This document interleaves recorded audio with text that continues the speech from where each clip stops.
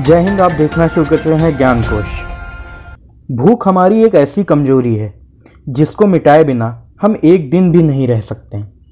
खाना ही भूख को मिटाने का एकमात्र साधन है।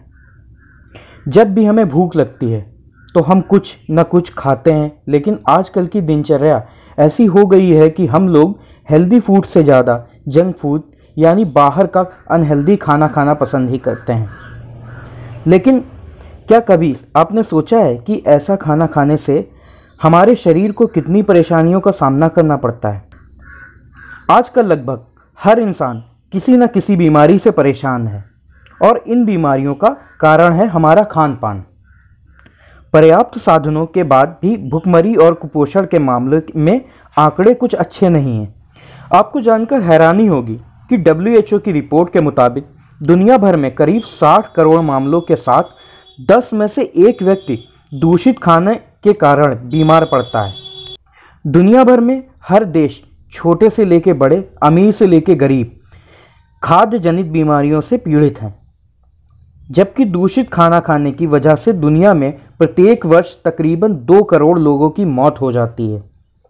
इसको गंभीरता से देखते हुए दिसंबर 2018 को यूनाइटेड नेशंस जनरल असेंबली ने वर्ल्ड फ़ूड सेफ्टी डे मनाने की घोषणा की। 7 जून 2019 को food safety everyone's business theme के तहत पहला वर्ल्ड फ़ूड सेफ्टी डे मनाया गया और वर्ष 2020 की थीम है the future of food safety विश्व खाद्य सुरक्षा दिवस के माध्यम से डब्ल्यू सार्वजनिक एजेंडे में खाद्य सुरक्षा की मुख्य धारा में आने के लिए अपने प्रयासों को करता रहता है और विश्व स्तर पर खाद्य जनित बीमारियों के बोझ को कम करने में अहम भूमिका निभाता है। खाद्य सुरक्षा संयुक्त राष्ट्र के लगातार विकास लक्ष्यों को प्राप्त करने के लिए महत्वपूर्ण है और सरकारों, उत्पादकों और उपभोक्ताओं के बीच एक साझा ज़िम्मेदारी है।